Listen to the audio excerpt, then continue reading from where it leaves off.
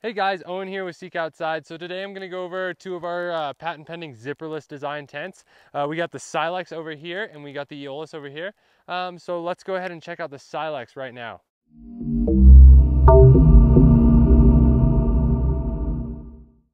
So this is the Silex. So this is one of our patent pending zipperless design tents. It's a one person tent, uh, one and a half. Uh, so there's lots of room in there for gear and stuff. So this tent can pitch to the ground or off the ground, to help deal with condensation. You can pitch it to the ground if uh, it's super stormy out, or if you're trying to run a stove in it, because there is an optional stove jack that you can get with this tent. Um, it goes in one of the vestibules. So you do lose access to one of the doors. However, um, However, there's not a lot of space loss and you know, you can just use one of the doors. Um, it opens up pretty big here. Um, so there's lots of room to enter and exit the tent. Um, it uses trekking poles um, or our carbon trekking poles that we offer at on our website.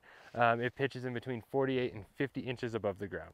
And this is the Eolus. So this is our two person version of this tent for the most part. Uh, the main difference is this doesn't pitch all, pitch all the way to the ground. So it pitches above the ground, does really well with condensation. Uses our zipperless design. The door does not go as high, but still has a pretty decent amount of room. Um, they both pitch at 48 and 50 inches, so somewhere in between there. Um, so the advantage of this tent is that it's a two person. Um, so tons of room in there, super comfortable, um, especially with the vestibules for gear.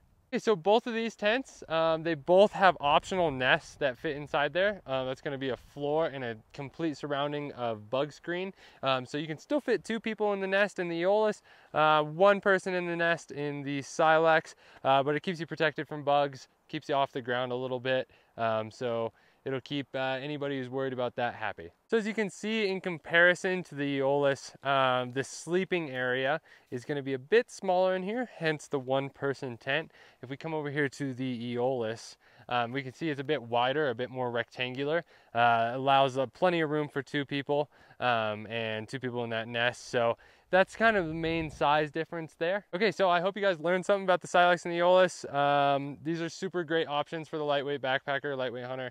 Um, anyways, if you wanna learn more about the Eolus, click up here. If you wanna learn more about the Silex, click over here. And uh, thank you guys for watching. Go ahead and subscribe to our YouTube channel. And if you have any questions, just leave a comment down below. Have a great day.